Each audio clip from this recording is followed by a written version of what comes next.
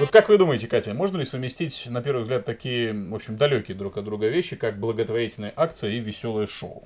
Мне кажется, Николай, что на Кипре возможно все. Ну и, на мой личный взгляд, благотворительность совсем не обязательно должна быть серьезной. Добрые дела можно делать и с улыбкой. Пожалуй, Катя, вы правы. Собственно, прямо сейчас э, увлекательная, я надеюсь, история именно вот о такой веселой благотворительной акции.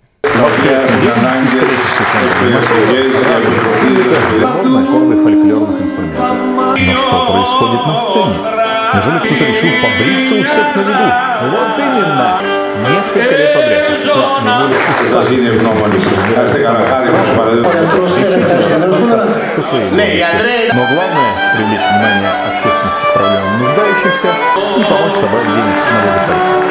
Считается, что, что усы – это мужество у кого-то они есть, если он выращивает их. Я, допустим, вот их ношу уже 40 лет, после армии. Закончил гимназию, и после этого я их выращиваю. А почему именно вас выбрали? Да не, не выбрали именно меня, это каждый год кто-то делает. Вот выбрали меня, потому что вот, ну, так получилось. Не исключено, что характер Барбоса Кириаку Советские коллеги звали отца. Я когда учился в тогдашнем Ленинграде, в Санкт-Петербурге, поехал туда в 77 году, закончил в 87 Учился я вот в медицинском институте, первом, э, э, на доктора, первого МИ имени Ивана Петровича Павлова.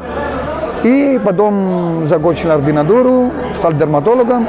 И с тех пор, ну, с 88 года я работаю здесь, на Кипре. Пожалуй, денежный ток-шоу с стоит того, чтобы назвать sem querer ninguém.